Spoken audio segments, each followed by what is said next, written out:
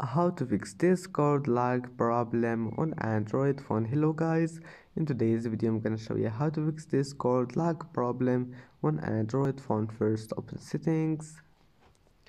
And now scroll down until you find storage and then click clean up.